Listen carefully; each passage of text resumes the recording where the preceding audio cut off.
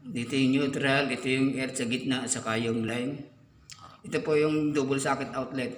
At ito naman yung single socket outlet. Pwede map. Single socket outlet dito pag sa British standard. Pag sa drawing, makikita nyo SSO. Yan yan. Pag DSO, ito yun. Yan. Yan ang makikita. Okay.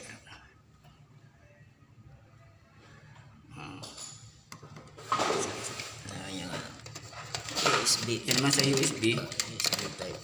Sige. Yan. Pa, pwede yung paano yung ilalim?